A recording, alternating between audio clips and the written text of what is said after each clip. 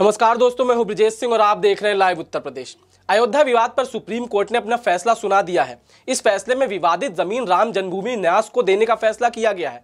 साथ ही supreme court ने मुस्लिम पक्ष को अयोध्या में ही पाँच एकड़ ज़मीन देने का फैसला किया है।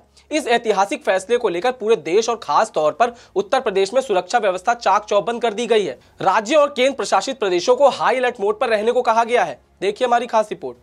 अयोध्या पर पाँच जजों ने सर्वसम्मति से फैसला दे दिया है। फैसला पढ़ते हुए सीजेआई ने कहा कि मंदिर और मस्जिद में 400 साल का अंतर है।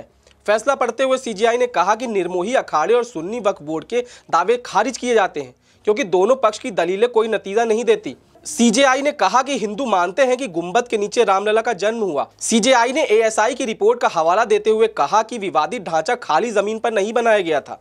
सीजेआई रंजन गोगोई ने कहा कि हिंदू गुंबद के नीचे ही रामलला का जन्म स्थान मानते हैं। मुस्लिम उसे इबादत की जगह मानते हैं।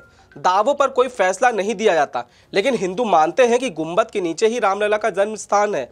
विवादित स्थल पर हमेशा से पूजा होती आई है।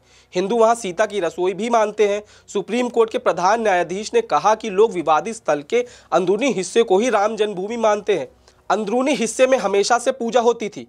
उन्होंने आगे कहा कि इस केस में हिंदू पक्ष ने कई ऐतिहासिक सबूत दिए। बाहरी चबूतरा, राम चबूतरा और सीता की रसोई में भी पूजा होती थी। सीजीआई ने कहा कि विवादित स्थल पर मस्जिद बनने के बाद से नमाज़ का दावा साबित नहीं होता। उन्नीस सौ उनचास तक मुस्लिम मस्जिद में नमाज़ अदा करते थे। मुस्लिमों ने मस्जिद को कभी नहीं छोड़ा। रंजन गोगोई ने फैसला पढ़ते हुए कहा कि अयोध्या के विवादित स्थल के बाहरी क्षेत्र पर हिंदुओं का दावा साबित होता है। 1856 से पहले मुस्लिमों का गुंबद पर दावा साबित नहीं होता। खुदाई में मिला ढांचा गैर इस्लामिक था, लेकिन मंदिर तोड़कर मस्जिद बनाने के प्रमाण नहीं। ऐसी ही खबरों के लिए बने रहिए हमारे साथ और देखते रहिए लाइव उत्तर प्रदेश।